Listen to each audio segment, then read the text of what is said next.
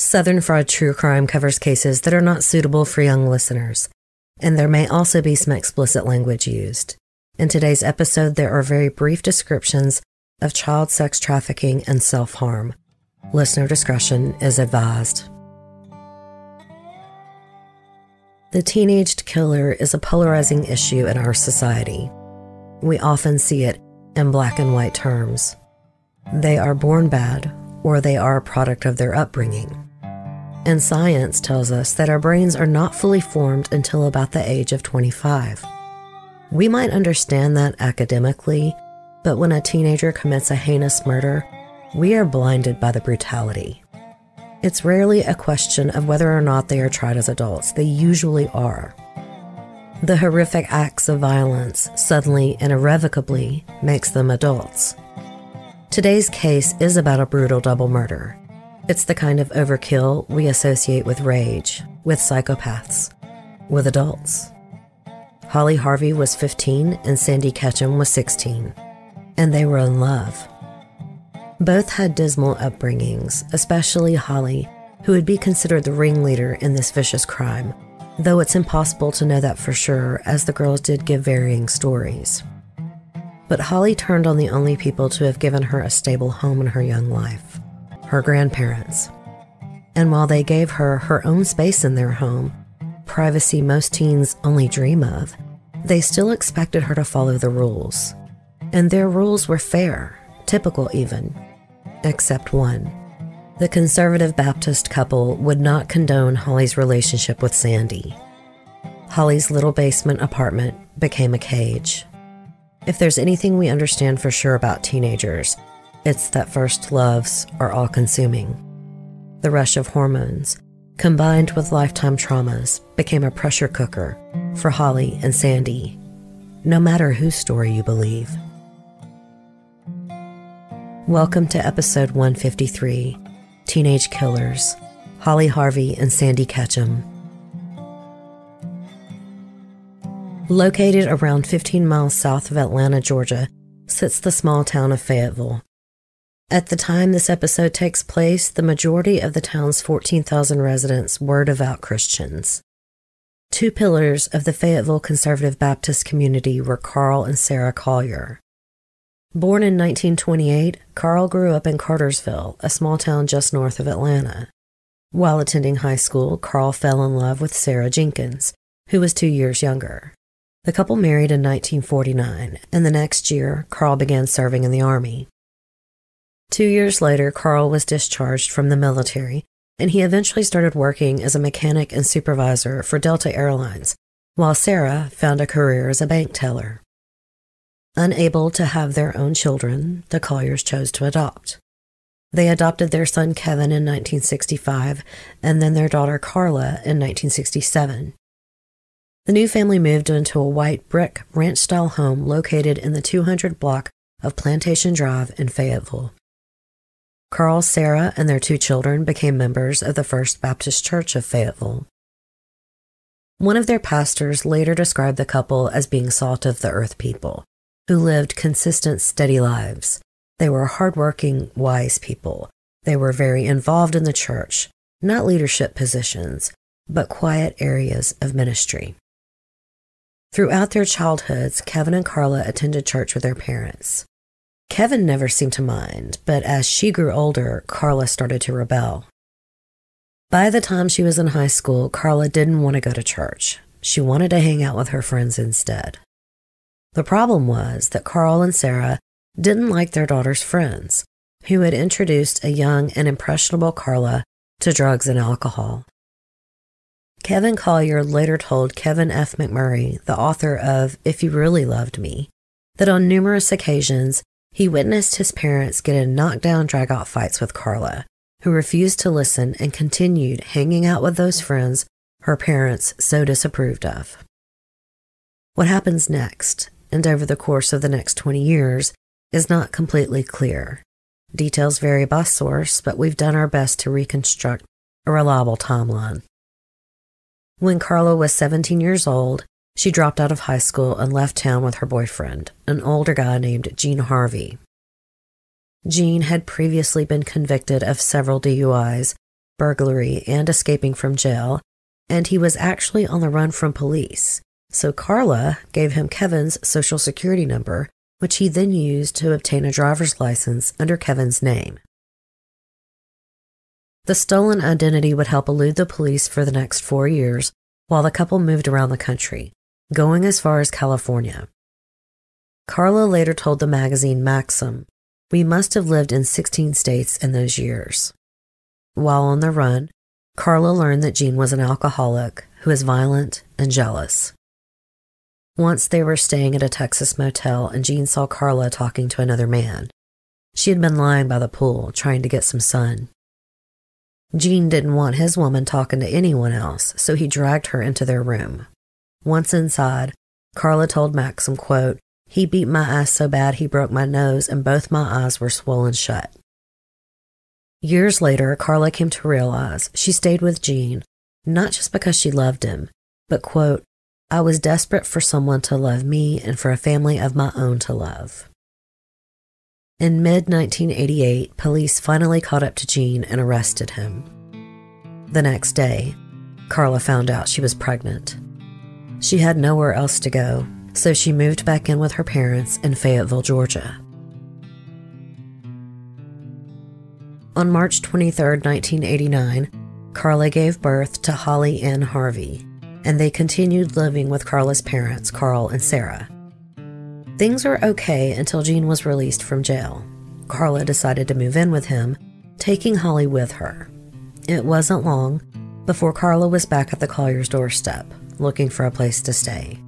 Her relationship with Gene had come to an end under tragic circumstances. The Harvey family had been in a horrific car accident, which left Gene a quadriplegic and Holly with a possible brain injury. The brain injury was later suggested by Holly's court appointed attorney. Carla and Gene's relationship could not withstand all the trauma, so Carla and Holly left and moved in with the Colliers, and Gene went to live with a family member. Sarah and Carl were happy to have their granddaughter staying with them. According to a close friend of Sarah's, Holly's relationship with her grandparents was wonderful at this time. She even had a bedroom across the hall from Carl and Sarah. However, the Colliers were not happy to have their daughter back living with them. As much as they enjoyed having their granddaughter in their home, they were retired at this point and they didn't want to raise another child. They just wanted to relax. But Carla was always out partying, leaving the responsibility of raising Holly to her parents. The Colliers finally grew tired of their daughter's irresponsible behavior and kicked her and Holly out. In 1993, Carla and four year old Holly moved in with Carla's brother Kevin. The situation was fine, except Kevin couldn't stand how Carla parented Holly. He told author Kevin F. McMurray that Holly had no structure or discipline. She could basically do whatever she wanted with no consequence. Carla explained to Maxim, quote, I wanted to be the kind of mother I wish I'd had. Maybe that was a mistake. Then Carla started dating a man named Scott Moore. And soon she and Holly moved in with Scott. They would continue living with him off and on for years. Carla started working part time as a waitress at a strip club called the Crazy Horse Saloon, not far from the Atlanta airport.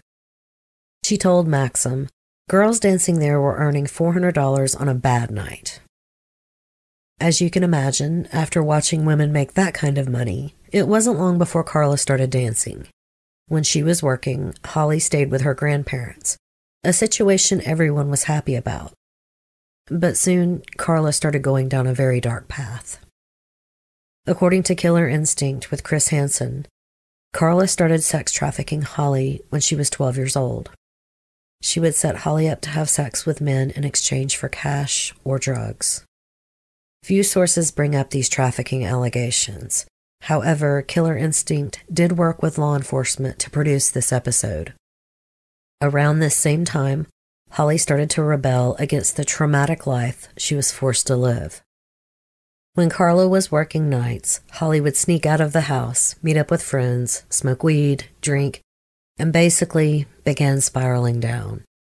Carla's boyfriend Scott said he had to go up and down the street to chase her down. he told the Atlanta Constitution, quote, I'd follow her and I'd find the little aluminum wrappers she used for her marijuana.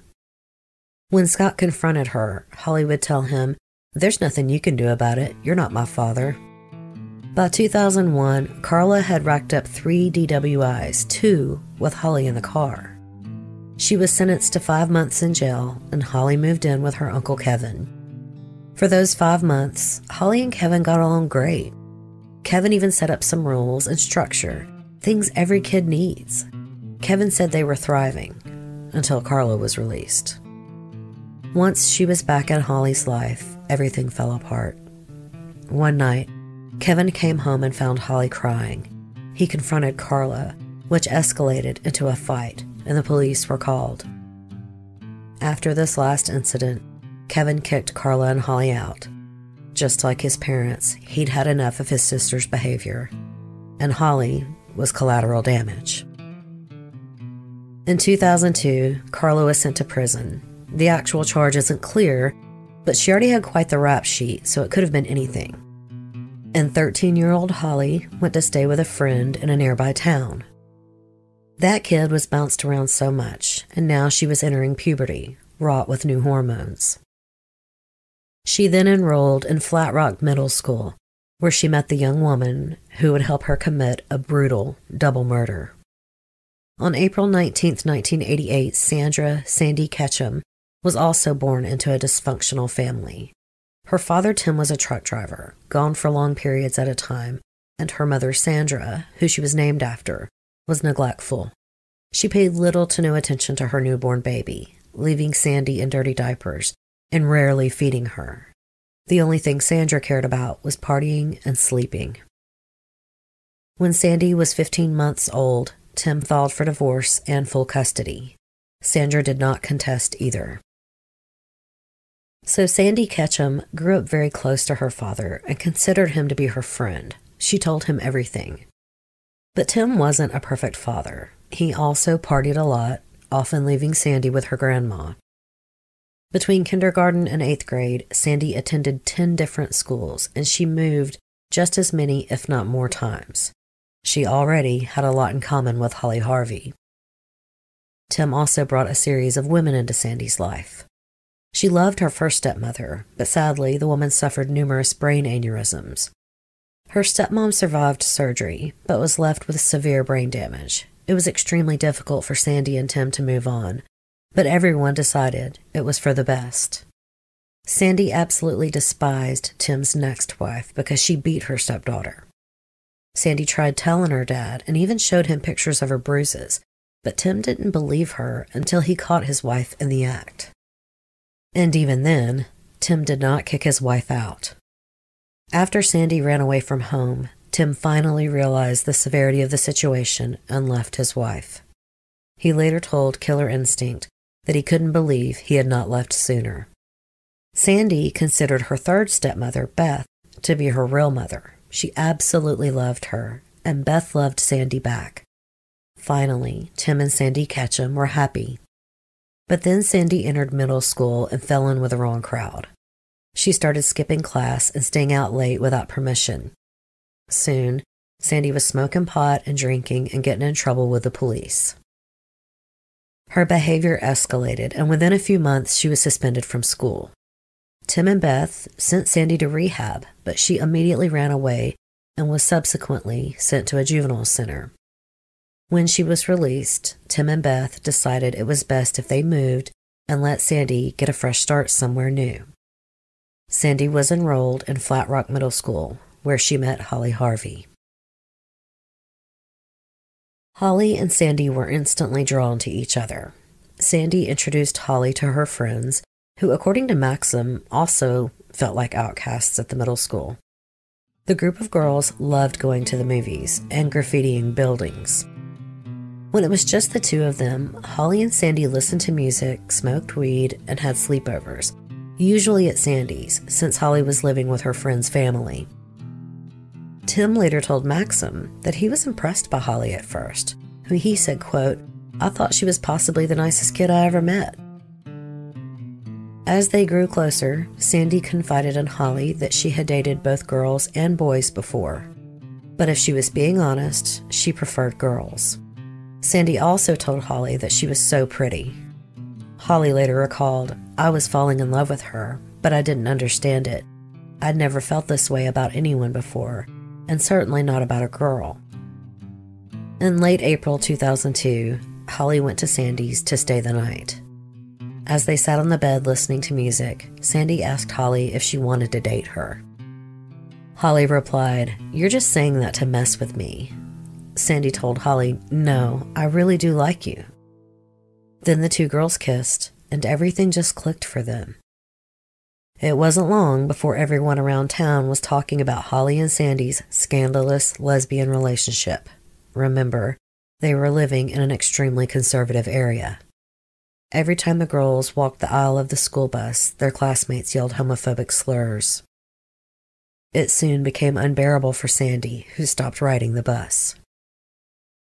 This is where things seem to have taken a turn for the girls. While they had both been troubled teens, Holly and Sandy's behavior escalated to a whole new level. It's as if they were feeding off of each other's trauma and angst. They started skipping school even more, usually hanging out in the woods.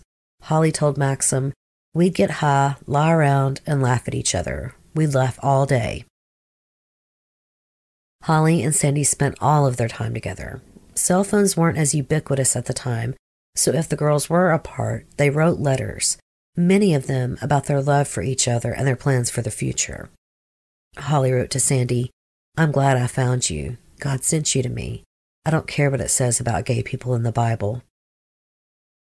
Another time she wrote, You give me that feeling when I'm with you. It's like paradise. I figured out the word for it. It's called ecstasy, not the kind you buy. Look it up. Another word, utopia. Look that up too. Sandy wrote, I hate it when older people say that young people don't know what love is. But I know what love is and how it feels, because age ain't nothing but a number.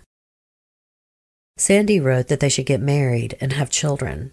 Holly responded, I don't have much to give, but you can have it. You can have me. Later, Holly's defense attorney, Judy Chidester, said Sandy was the only person Holly thought she had a true relationship with, someone who cared for her and who she cared for in return. According to Chidester, they were in it for each other. When Carla was released from prison, Holly moved back in with her mom and Scott. But then in the spring of 2004, Carla was arrested again, this time for trying to sell marijuana to an undercover cop. Scott said Holly was not welcome to stay in his house due to her behavior, so Holly went to live with her grandparents, Carl and Sarah Collier. By this time, the Colliers were still enjoying their retirement, although Carl was painting houses to help stay busy. At the plantation drive home, Holly stayed in the basement, which Maxim described as a self contained home within a home with a bedroom, a living room with a fireplace, and glass patio doors leading out to the lawn. Knowing their granddaughter had been raised with no structure, the Colliers immediately put a few rules in place. For the most part, their rules were not out of the ordinary. Sarah and Carl asked that Holly stop using drugs, sneaking out at night, and listening to rap music so loudly. There was another rule, and it was the worst one of them all. Holly was forbidden from ever seeing or speaking to Sandy Ketchum again. The Colliers did believe that Sandy was a bad influence on Holly, but their main issue with Sandy was that she was in a lesbian relationship with their granddaughter. The Colliers were conservative Baptists, very conservative, and they disapproved of Holly's relationship. So Sandy was banned from the Collier house, and Holly was forbidden from speaking to or seeing Sandy.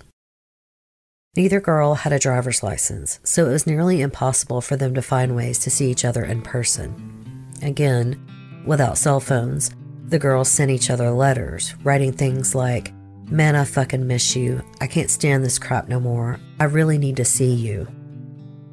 Eventually, they decided to risk it all, and Sandy started sneaking into Holly's basement bedroom after the Colliers went to bed at around 10 p.m or sometimes Holly would sneak out, making sure to be back home before her grandparents woke up at 6 a.m.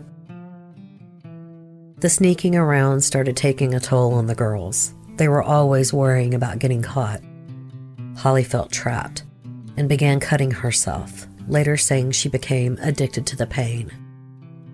She smoked 15 to 20 joints a day, but soon she and Sandy started using meth, and if they could afford it, cocaine. As much as they thought they were sneaking around, Holly's grandparents were not fooled, and Sarah called Beth, Sandy's stepmother, to inform her that the girls were in a lesbian relationship. Completely unaware of this, Beth asked Sarah how she knew. She said Holly had told her that she was in love with Sandy. Beth was shocked by what Sarah told her, but the more she thought about it, the more she realized it had been right in front of her the whole time. Beth confronted Sandy, who then lied and said she was bisexual. Thinking her daughter was going through hormonal changes, Beth told Sandy she was too young to know her sexuality. But Sandy insisted she did know. In fact, Sandy had known since she was a young girl, but due to the conservative nature of the area, she always felt extremely conflicted. One of her friends, Sarah Polk, later said Sandy often talked to her about her feelings. Beth told Sandy that she still loved her, but she was no longer allowed to see Holly. Sandy was devastated. Upset that her parents were putting these kind of rules in place, Sandy asked if she could talk to her birth mom, Sandra. Beth and Tim were reluctant. They knew how awful Sandra was, but they were also hopeful that starting a relationship with her mom might be good for Sandy. They reasoned that it might help her move on from Holly. Tim and Beth told Sandy that she could talk to her mom and they put the two in touch. The next day, Sandy told Tim and Beth that she wanted a relationship with Sandra, and in order to form it, she needed to move in with her. Now Tim and Beth were beyond reluctant. They knew that at this point Sandra had six children, none of whom she had custody of. And she was living with a sketchy man in a dilapidated house. It wasn't a good place for Sandy to go, so Tim and Beth tried to talk her out of moving, but she was relentless. She wanted to move in with her mom. Tim and Beth eventually let her, but only if there were a few specific rules in place, including that Sandy had to meet with her probation officer and that she could not see Holly Harvey. But just like Sandy was hoping, Sandra did not care what her daughter did, and in fact, she made it easy for Sandy and Holly to see each other. In mid June, Holly ran away to stay with Sandy for four days. When she returned home to the Colliers, Holly was in major trouble, but she continued to break the rules and saw Sandy whenever she could. On June 29, 2004, Holly wrote to Sandy, quote, I'm so fucking tired of always having to walk away or drive away. It's like my world falls apart. You mean everything to me. You are my whole world. The only thing that matters to me is you. You are all I care about, and I can't wait for the day when we are together and we'll never have to leave each other again. That is, if we even have a future. Holly wasn't the only one frustrated in the Collier house. Carl and Sarah were at the end of their rope.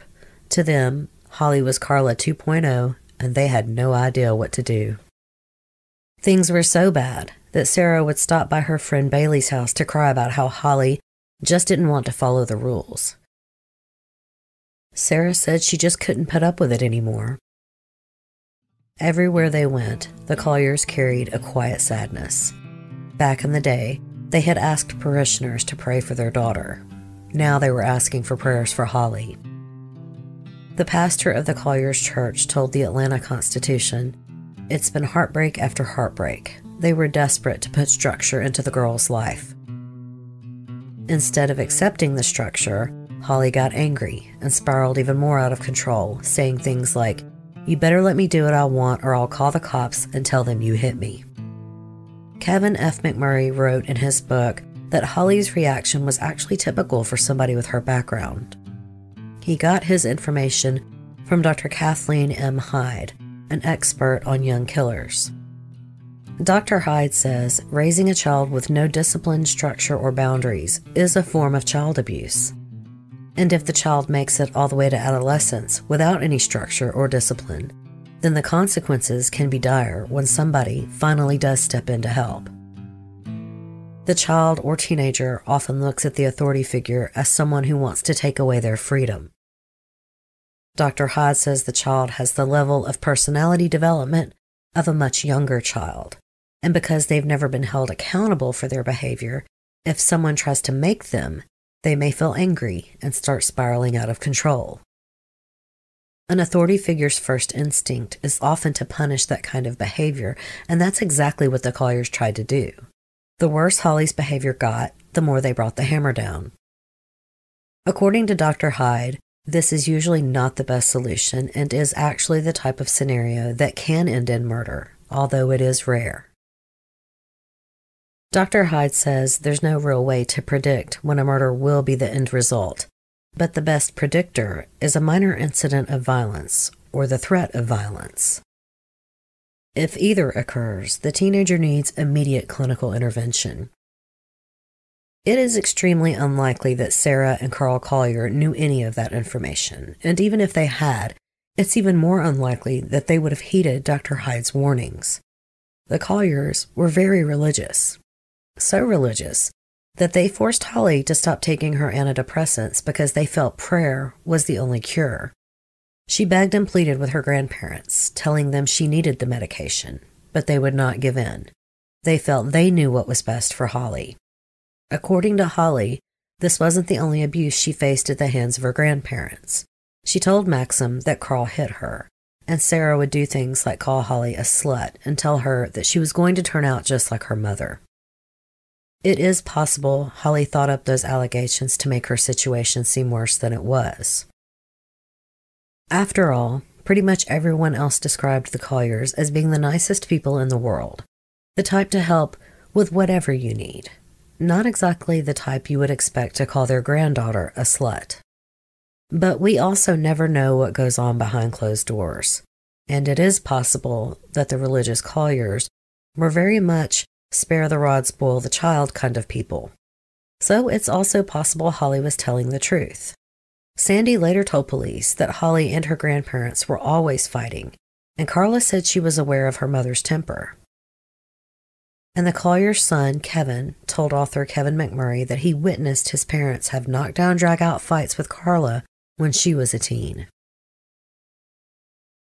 By the time mid July rolled around, Tensions in the Collier house were at an all time high. Holly and Sarah were at each other's throats, and Carl was growing more and more scared of Holly. Their son Kevin told the Atlanta Constitution they were concerned. They weren't sure what she was capable of. On the weekend of July 24th, Holly and Sandy bought weed, meth, and cigarettes, then packed up some food and cash. When nighttime came, the girls ran away. Four days later, Holly and Sandy were out of money, so they went back home.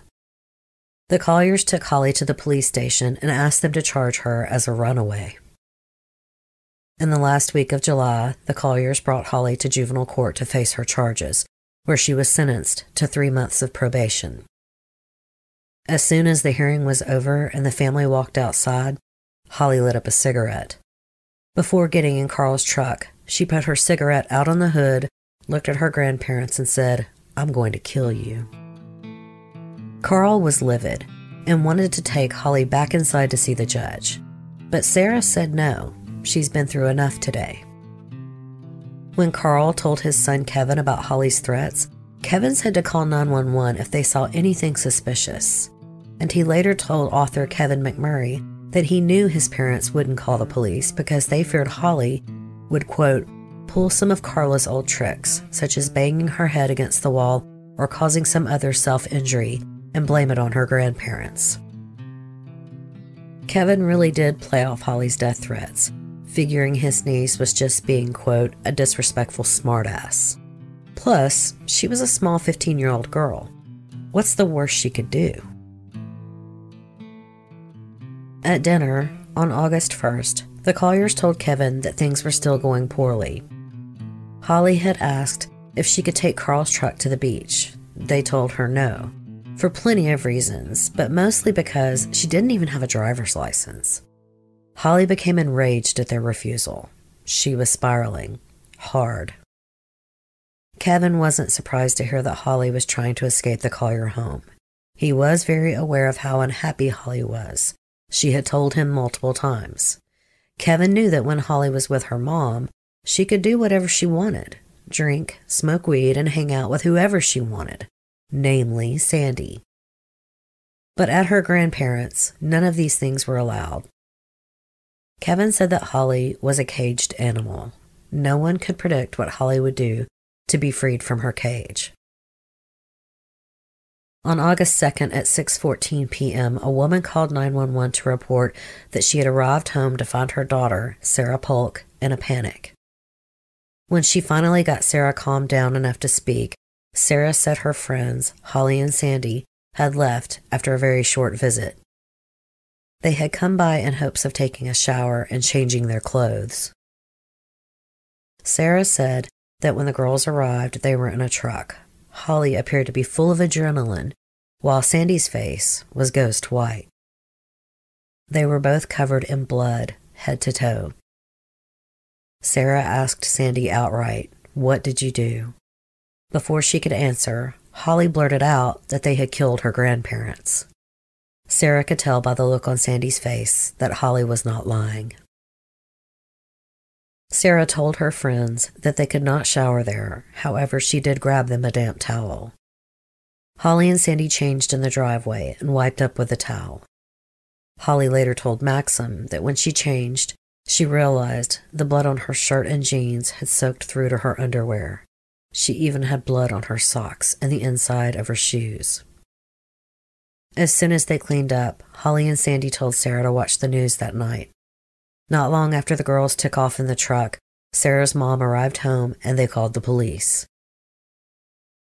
Sarah had no idea who Holly's grandparents were or where they lived, so officers asked her to call Holly's cell phone, which was really Carl's phone, and get her to give them a name.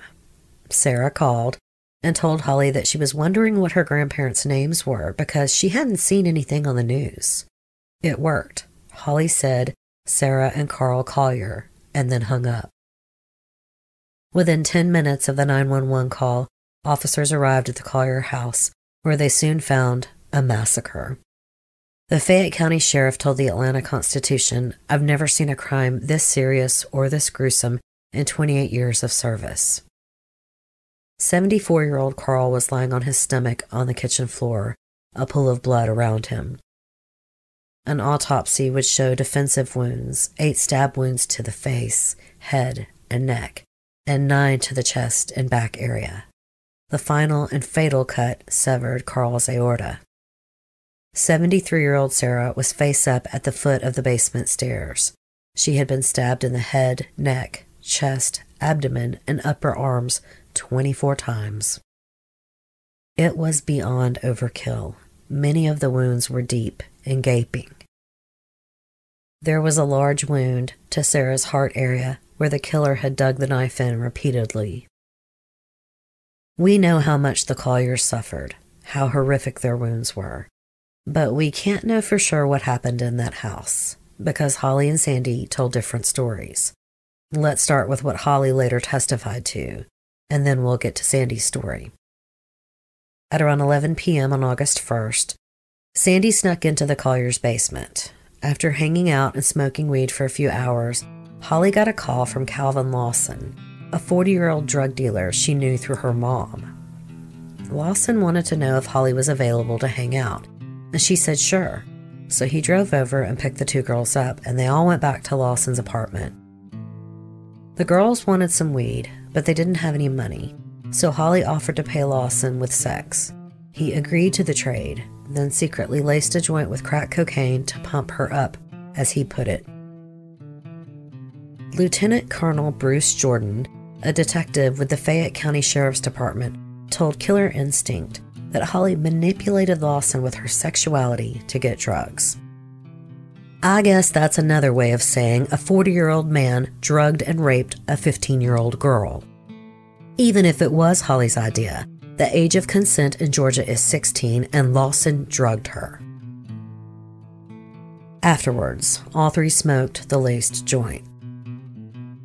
Soon it was almost 6 a.m., and Holly told Lawson they needed to get back home before her grandparents woke up. Lawson told the girls they were too messed up and needed to stay there. Holly begged him to take them home, which he did around 5:30. Holly and Sandy snuck back into the basement and spent the next few hours listening to music, occasionally sneaking outside to smoke cigarettes. By the time the afternoon arrived, they were feeling edgy and paranoid from the laced joint. So Sandy suggested that they go get something to calm down. They only had enough weed for one more joint, and that wasn't going to cut it. Holly called one of her friends to see if she could come pick her and Sandy up because they, quote, needed to get away, but the friend was not available. Sandy said they should steal the Collier's truck instead. Holly told her, We'll have to kill them to do that. Holly later testified that she didn't mean nothing by that comment. Sandy suggested that they hit the grandparents in the head with a lamp, but Holly said, quote, that might just make them pass out, then they will wake up. Sandy called her friend Samantha to see if she knew where to get a gun. When asked why she wanted one, Sandy said she wanted to take care of business. Samantha sarcastically asked her boyfriend Mark if he knew where to get a gun. He took the phone from Samantha and asked why she needed a gun so badly.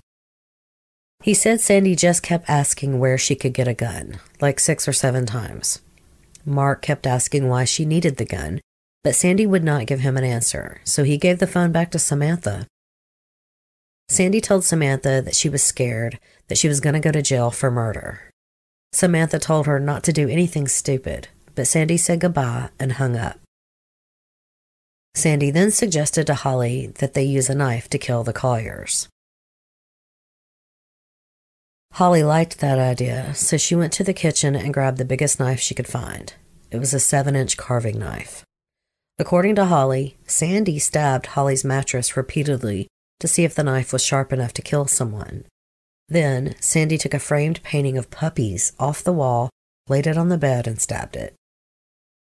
When they decided the knife was sharp enough, Holly wrote a to do list on her arm keys, kill, money, jewelry. Then Holly and Sandy smoked the last of their weed so that the odor would lure the grandparents downstairs to the bedroom to investigate. When they heard the Colliers walking downstairs, Sandy hid under the bed and Holly slipped the carving knife in the back of her waistband. Carl and Sarah knocked on Holly's door. Instead of confronting her about the marijuana odor, Carl told Holly he needed to look through the closet for a suitcase. Sarah was going to Hawaii soon and was hoping to get a start on packing. While Carl looked through the closet, Sarah stood at arm's length away from Holly. That's when Holly brought out the knife. As Sarah turned, Holly said she closed her eyes and stabbed her three times in the back. Sarah let out a scream, and Carl turned around to see what was going on. Holly opened her eyes, pulled out the knife, and saw Carl lunging at her. He punched Holly in the chin, and she said she went numb. The next thing she knew, both grandparents were pinning her to the bed. Holly started stabbing Carl in the chest while yelling at Sandy to help her. Sandy came out, and supposedly both Colliers started cussing at her. Carl ran out of the bedroom towards the stairs. Sandy told Holly to give her the knife and go after him. Holly kept standing there, and Sandy yelled, Go get him! And Holly didn't move. Sandy told her, He's going to call 911. Holly finally gave Sandy the knife and ran upstairs. When she made it to the kitchen, she saw Carl with the phone in his hand. She ran toward him and pulled the cord out of the wall. Carl grabbed a fillet knife, which Holly wrestled out of his hand. Just then, Sandy came up from the basement. Carl threw a coffee cup at them, but missed, and the cup hit the wall behind Sandy's head. Holly said she closed her eyes and started stabbing Carl real fast as he fought back. The last stab hit Carl's aorta. Holly later testified that all of the sudden it felt like, quote, somebody just poured a big old bucket of hot water on me, so I had let go, and I opened my eyes and he staggered and he walked around the kitchen island and he fell on the kitchen floor. The girls went downstairs where they found Sarah lying face up at the bottom of the stairs. Holly said Sandy had stabbed Sarah in the chest, neck, back of the head, and arms. Sarah fought back, making her way across the basement to get to the stairs before she fell to the ground. But Sarah was still alive, so according to Holly, Sandy told her, You've got to finish her. Holly said she couldn't, but Sandy said, You've gotta. So Holly delivered the final stab. With the Colliers now dead, Sandy and Holly packed a change of clothes and stole some of Sarah's jewelry. Not wanting to leave evidence behind, they grabbed the murder weapons, then ran outside and took off in Carl's blue Chevy truck. The two girls had no plan. They tried to figure out what they should do next. They figured they needed to go somewhere to shower and change, so they called their friend Sarah Polk. While officers searched the Collier house for evidence, they found a poem Holly wrote. It described how depressed she had been and how she cried herself to sleep. One line read, All I want to do is kill. On Holly's vanity mirror, officers found pictures of Holly at the beach, where she had vacationed over the years. They suddenly had a feeling the girls were going to the beach in Carl's truck. And they were right. After leaving Sarah Polk's house, Holly and Sandy drove east on the highway with no destination in mind. They talked about how much they loved each other and how they were together now, forever. They also called other friends and told them about killing Holly's grandparents. Those friends also called the police. Holly and Sandy drove for more than four hours before they ran out of road on Tybee Island, located on the Georgia coastline. Right when the girls reached the beach, they drove past two guys 14 year old Brett and his 22 year old brother Brian. The girls asked Brian if he had a cigarette, and then asked where the brothers were headed. Brian told them they were going to the beach, and the girls asked if they could tag along. He said sure. So the girls parked the truck at a nearby nursing home. Then the group walked to the beach. Brett later told the Atlanta Constitution that the girls acted weird, quote, like you'd ask them a question and they kind of looked down and they wouldn't answer, and they always whispered to each other. During the walk, Sandy and Holly asked the brothers if they knew where they could sell some jewelry an expensive looking tennis bracelet, a gold necklace, a gold nugget charm, and two or three other gold bracelets or necklaces. The guys said no. They had actually just moved to the town that day and didn't know anything about the area. The girls told the guys that they didn't have any money and asked if they could stay at their place for the night. The brothers thought it was weird, but said okay. They asked if Holly and Sandy wanted to bring their truck over, but the girls said no. When Brian and Brett told their mom, Trish, about the girls staying the night, at first she told them no. But then she gave in because she figured they were just runaways. She didn't mind helping them for just one night. At some point, the girls admitted to Brian and Brett that they stole the truck they were driving. They asked him to help get rid of it, but he said no. They also told the brothers about how they stole the jewelry from Holly's grandparents, but they never said anything about the murders. Sandra and Holly went to bed cuddling. At the same time, the U.S. Marshals Fugitive Task Force was called in to find the teenagers. They tracked Carl's cell phone, which Holly had also taken, and found that the signal disappeared at 1 a.m. The last location was in Tybee Island. Fayette County deputies and the U.S. Marshals drove to the Georgia coast to search for the girls. At 9 a.m., they located Carl's stolen truck parked at the nursing home. Inside the truck, authorities found a bag with bloody clothes and the two knives used to murder the Colliers. Meanwhile, at the house with the brothers, Trish asked to use Holly's phone. She needed to call and set up the landline at their new house. Thinking nothing of it, Holly said sure, turned the phone on, and Trish made the call. U.S. Marshals were still tracking Holly's phone, and now were able to narrow their search down to two homes. More than 25 highly armed officers busted into one of the houses, but it was the wrong one, so they quickly ran over to the other one. At around 2 p.m., they finally busted in and arrested Holly and Sandy. According to Killer Instinct, when officers reached the girls, They found that each one had a kitchen knife in their pocket. Holly and Sandy had stolen them from Trish. Authorities would later theorize the girls had planned to rob and murder Trish and her two sons. Lieutenant Colonel Bruce Jordan of the Fayette County Sheriff's Department told the Associated Press that Holly laughed at the 25 arresting officers. He said, quote, She was callous and cocky. She is the coldest and most heartless individual I've ever interviewed. It almost made her giddy to know we brought so many people to arrest her. When she was done laughing, Jordan noticed Holly was trying to wiggle out of her handcuffs. He put a knee in her back, dropped all his weight onto her, and said, You're not fighting with your grandmama now. That's when he noticed the handwritten to do list on Holly's arm that read, Kill, keys, money, jewelry.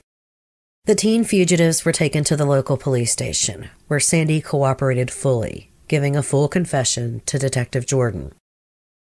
It is unclear what Sandy told him. However, according to author Kevin F. McMurray, this is what Sandy later told her parents and a psychiatrist.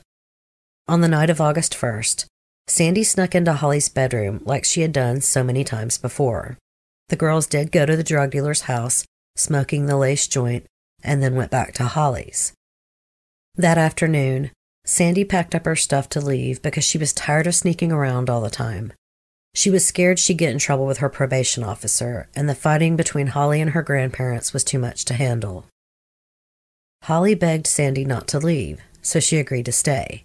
But Sandy still felt the overwhelming need to get out of the Collier house, so she told Holly they should steal Carl's truck and leave. Holly replied, I just want to kill them. Sandy laughed because she didn't think Holly was serious. She claimed she didn't know it was a joke until the killing started. Holly grabbed a knife and Sandy hid under the bed, and then Holly lured her grandmother into the basement.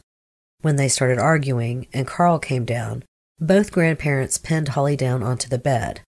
Holly started yelling at Sandy for help. But Sandy was scared, so she didn't move. Holly kept calling out, so Sandy finally left her hiding place. That's when she said she saw Holly stab Sarah Collier. Sandy said she got into a wrestling match with them and tried to take the knife away from Holly. Sandy said she screamed for everyone to stop, but they just looked at her like she didn't exist. Holly, still pinned to the bed under Sarah, started screaming that she couldn't breathe and yelled to Sandy to get Sarah off of her. Sandy then admitted to stabbing Sarah in the arm and the back of her head, but said she didn't kill her. Holly then chased Carl upstairs, and Sandy said she heard, quote, all the hollering and screaming, so she went up to see what was going on. When she walked into the kitchen, Carl threw a coffee cup at her. She ducked, and it hit the wall. When Sandy looked back towards the struggle, she saw Holly stab Carl, quote, one more time in the neck, and he fell to the floor dead. Sandy and Holly went back downstairs and found Sarah lying at the foot of the stairs. Sandy told Holly that her grandma was still breathing. She said they should leave her alone and run. But Holly wanted to finish Sarah off, so she tried to stab her in the stomach, but was struggling. Holly told her, This bitch is too fat. It won't go in. So Holly stabbed her grandmother in the chest, hitting her heart. The girls grabbed a change of clothes, jewelry, and cash and then fled. They went to Sarah Polk's house, like Holly said, and after they left, they headed for the Georgia coast. Sandy said on the drive, Holly was kicked back in the seat like nothing had happened, and Sandy kept saying they were going to prison for the rest of their lives. Holly tried to convince her that no, they weren't.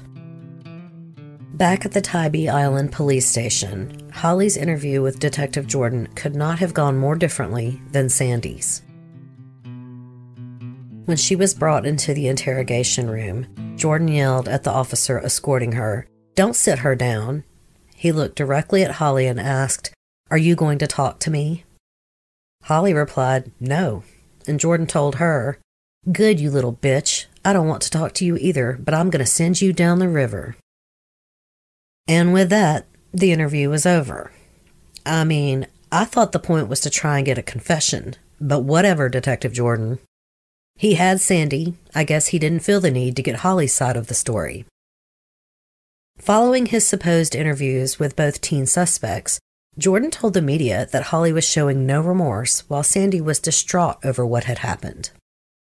Jordan said he was convinced Holly was a stone cold manipulator who persuaded Sandy into getting involved. He said Sandy only joined in the attack because she loved Holly. Jordan believed that if Holly had not called out for Sandy's help, she probably never would have come out from under the bed. Now remember, Detective Jordan was telling the media all of these details not long after the girls had been arrested. His actions had already been questionable, probably squeaking right above the line, but talking to the press like that is typically forbidden. He was tainting the jury pool before Holly and Sandy were even indicted. Sandy Ketchum and Holly Harvey were transported back to Fayette County and indicted on two counts of malice murder two counts of felony murder, and one count of armed robbery. They were to be tried as adults, although due to their age, the death penalty was off the table. During the transport, Sandy could not stop crying about how she couldn't get rid of the smell of blood. Every five minutes, she was smelling blood. She also said those people didn't deserve to die. On the other hand, Holly was completely silent, never muttering a single word. This behavior only helped fuel Detective Jordan's allegations that Holly was a cold blooded killer without an ounce of remorse. Holly's court appointed defense attorney, Judy Chidester, later rightly pointed out to author Kevin F. McMurray that people have different responses to shock and trauma. Just because Holly was being quiet and wasn't sobbing and confessing her feelings did not mean that she wasn't remorseful. Chidester said that 15 year old Holly was in shock and couldn't remember much of anything, just a lot of screaming, although she wasn't sure from who. When Chidester told her what happened, Holly replied, I can't believe they are dead. I can't believe I did that. I feel like it's a bad dream. Carl and Sarah Collier's funeral was held on August 9th with more than 900 people in attendance. Their daughter and Holly's mother, Carla, was unable to attend the funeral since she was in prison, though her family did try to get her there. Instead, Carla released a statement. My family has suffered a great loss. I've lost three people whom I love. During the funeral service, the pastor advised the mourners to focus on the lives of the Colliers, not their deaths. Remember them for their love of Christ and the sacrifices they made, he said. Another reverend officiating told mourners that the Colliers sacrificed their lives trying to help Holly. He said, quote, I believe that even on that night, as blood streamed out of their bodies, that they called out to God, Forgive them. They know not what they do. One day they will. The Collier's son, Kevin, did not speak at the funeral.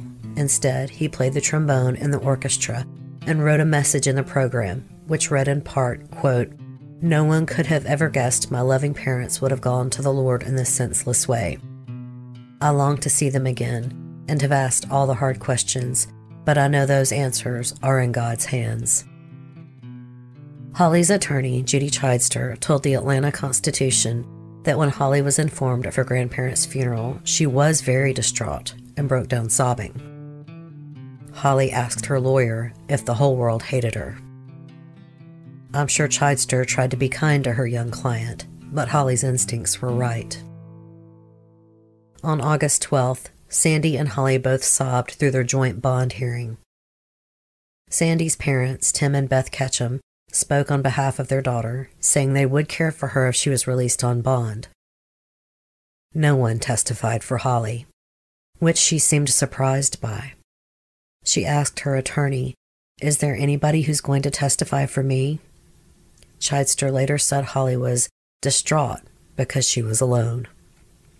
Obviously, it was really hard for the Colliers' loved ones to come to terms with how their own granddaughter killed them, the granddaughter they had been trying so hard to help. Sarah Collier's friend Bailey told the Atlanta Constitution that she gets really upset when she thinks about Sarah's last moment. Quote, she was looking at someone in the last minutes of her life who she loved and tried to save, and now she's the one turning on you.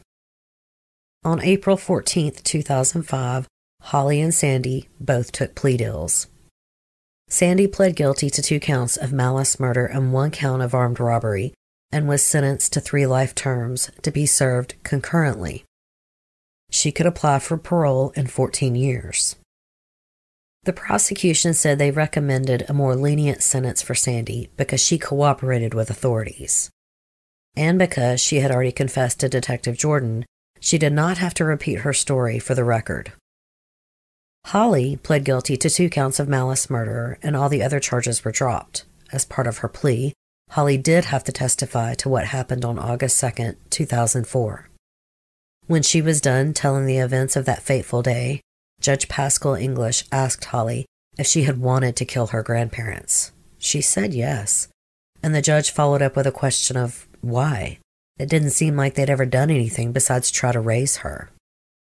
Holly was apprehensive to answer, but she finally said, quote, Only the family knows. My grandmother used to scream at me and tell me all kinds of things. She used to tell me that the only reason I lived there was because so I didn't go to the Department of Family and Children's Services. And when I was like 10, she used to call me a slut. And my grandfather, he hit me.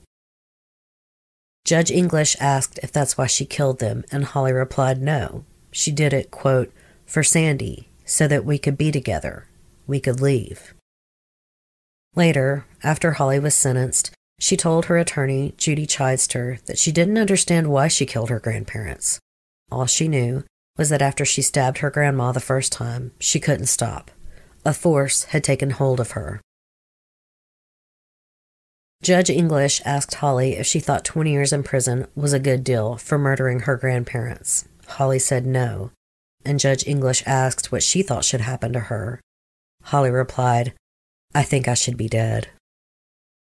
The judge responded, We both agree on that, but the posture of the law is that a juvenile cannot be sentenced to death. Before he handed down Holly's sentence, Judge English told her that in his 30 years serving the justice system, 18 of which were as a judge, he had seen, quote, some hardened criminals come through the court, and yet a 15 year old little girl comes in in front of me and admits to savagely killing the people she lives with. And I can tell you this I can't think of another case in the 30 years that has been as nonsensical or as brutal as this. He told Holly that if she was older, the prosecution would have sought a harsher sentence. He added, You are fortunate that you were just a little too young for the full force of the law to be invoked. I say you're lucky. Judge English sentenced Holly to two consecutive life sentences. She could apply for parole in 20 years. According to author Kevin F. McMurray, following the hearing, Detective Bruce Jordan told the media that some things Holly testified to were, quote, inconsistent with the evidence. He said Holly was the more dominant one in the relationship and that Sandy was not an equal player in the murders as Holly was making it out to seem. The thing is, Holly had to testify truthfully or else she would lose her plea deal. Her attorney, Judy Chidester, has admitted that Holly probably minimized her role. However, there was no evidence to prove Holly was the ringleader and that Sandy was simply following Holly's every direction. Chidester said Detective Jordan was just giving his opinion, which we know he just loved to do. But in the end, it didn't matter legally. Both girls participated in the murders. After Sandy and Holly were sentenced, authorities arrested 41 year old Calvin Lawson, the dealer that laced the girls' weed with crack cocaine. As it turns out, Holly's testimony was the first time any member of law enforcement heard the two girls had been drugged prior to the murders. That's why Lawson had not been arrested already. It should be noted that Holly did not come up with the Calvin Lawson story on the stand. She had told her attorney about it, as well as the psychiatrist who evaluated her after her arrest. Sandy had also told her attorney and psychiatrist about Lawson. I do question why their attorneys did not explore this as a mitigating circumstance, especially since Lawson legally raped Holly Harvey. In a weird twist, it was actually Holly's mom, Carla, who led authorities to Lawson. During Holly's testimony, Judge English tried to get more information about Lawson. Holly told him that she only knew Calvin's first name. Judge English asked how she knew him, and Holly tried to wiggle out of answering, but the judge made her. Holly had to admit that she knew Calvin through her mom, who had introduced her months before. Carla was actually out of prison at the time of the hearing. She was sitting in the courtroom while Holly testified. Following the hearing, officers grilled Carla about Calvin and found out his last name. Carla didn't want to give it up, but she knew if she didn't, they would send her back to prison. Damn. Talk about a shitty mother. She wanted to protect the drug dealer who raped her daughter. Disgusting. Calvin Lawson was charged with contributing to the delinquency of a minor and furnishing harmful materials to a minor. And because in Georgia, committing a felony that leads to a murder is grounds for a murder charge, Lawson was also charged with murder. He was not, however, charged with the rape of Holly Harvey.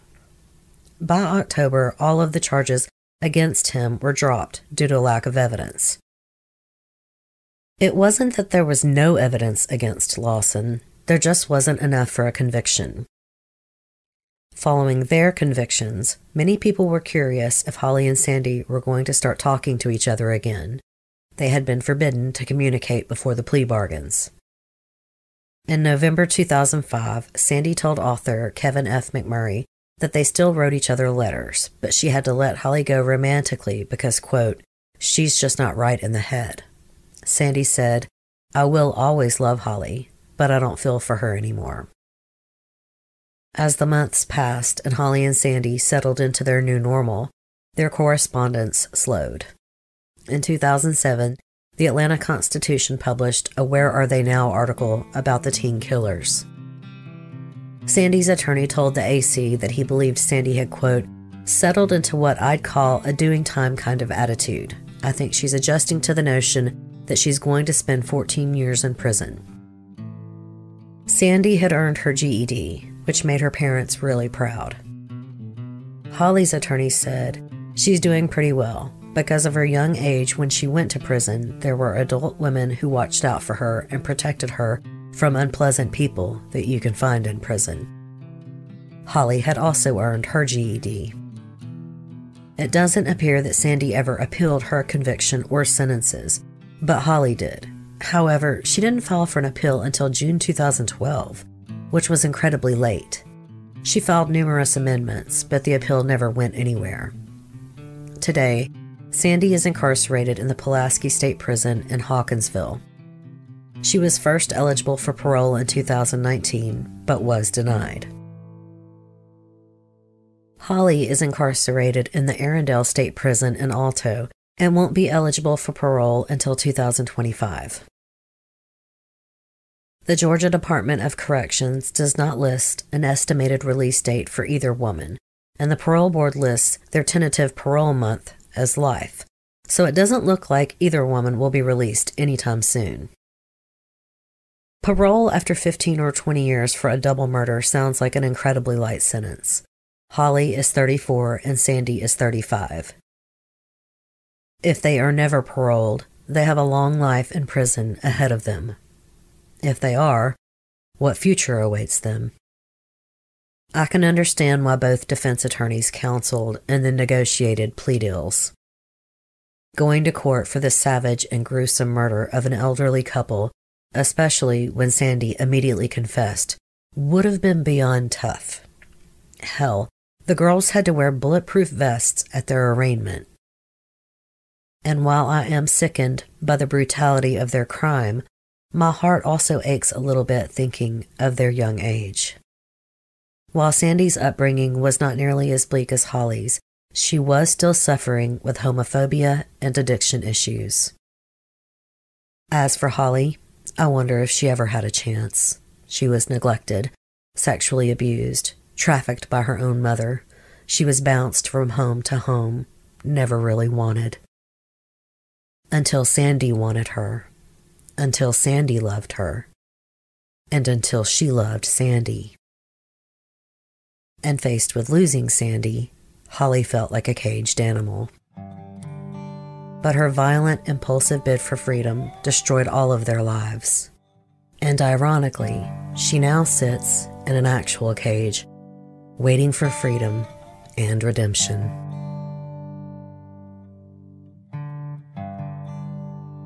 Southern Fried True Crime is hosted and produced by me, Erica Kelley.